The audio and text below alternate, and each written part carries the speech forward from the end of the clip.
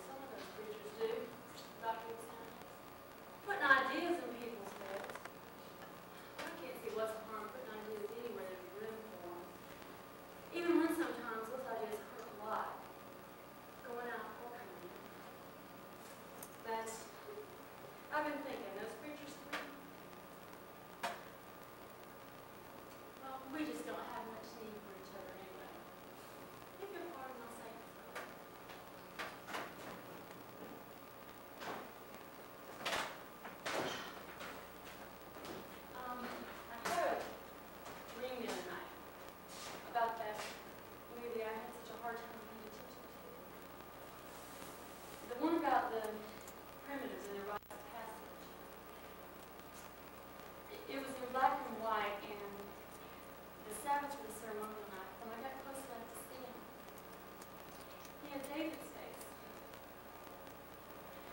That's when I knew you were wasn't cutting. Sure enough,